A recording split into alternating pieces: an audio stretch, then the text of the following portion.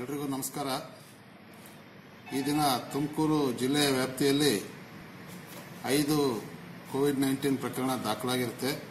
ಈಗಾಗಲೇ ನಾಲ್ಕು ಪ್ರಕರಣಗಳ ವರದಿಯನ್ನು ನಾವು ಪಾತ್ರ- ಪತ್ರಿಕಾ ಮಾಧ್ಯಮಕ್ಕೆ ಬಿಡುಗಡೆ ಮಾಡಿದ್ದೇವೆ. ಈ ಐದನೇ ಪ್ರಕರಣ ಟಿ ಎಂ ಕೆ ಐವತ್ತೇಳು ಅಂತಕ್ಕಂಥ ಒಂದು ಪ್ರಕರಣ.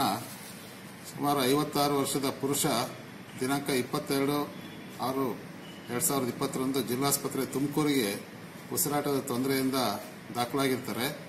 ಅವರಿಗೆ ಅನ್ಕಂಟ್ರೋಲ್ ಡಯಾಬಿಟಿಸ್ ಮತ್ತು ರಕ್ತದ ಒತ್ತಡ ಇರುತ್ತೆ.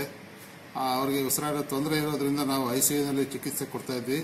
ಆ ವ್ಯಕ್ತಿಯು ದಿನಾಂಕ ಇಪ್ಪತ್ತ್ಮೂರು ಬೆಳಗಿನ ಜಾವ ಹೃದಯ ಸ್ತಂಭನದಿಂದ, ಅಂದರೆ ಕಾರ್ಡಿಯಾಕ್ ಅರೆಸ್ಟ್ ಆಗಿ ಮೃತರಾಗಿರ್ತಾರೆ. ಅವರ ಗಂಟಲು ದ್ರವ ಮಾದರಿಯನ್ನು ನಾವು ನಿನ್ನೆನೆ ಪಡೆದುಕೊಂಡಿದ್ವಿ. ಆ ಪರೀಕ್ಷೆ ಪ್ರಗತಿಯಲ್ಲಿತ್ತು. ಈಗ ತಾನೇ ಆ ಗಂಟಲು ದ್ರವ ಮಾದರಿಯ ಒಂದು ರಿಸಲ್ಟ್ ಬಂದಿದೆ.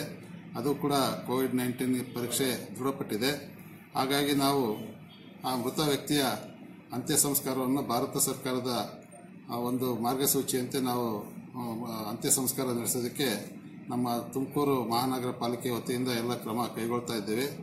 ಈ ವ್ಯಕ್ತಿ ತುಮಕೂರಿನಲ್ಲಿ ಮತ್ತು ಬೆಂಗಳೂರು ಶಿವಾಜಿನಗರ ಏರಿಯಾದಲ್ಲಿ ಹಾಗೂ ಮಧುಗಿರಿಯ ಒಂದು ಸಂಪರ್ಕ ಇರತಕ್ಕಂಥದ್ದು ತಿಳಿದು ಬಂದಿದೆ.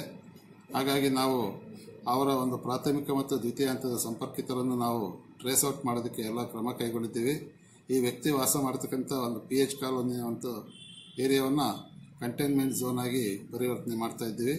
ಈ ಮುಂದಿನ ಎಲ್ಲ ಸೂಕ್ತ ಕ್ರಮಗಳನ್ನು ನಾವು ಕೈಗೊಳ್ತಾ ಇದ್ದೀವಿ.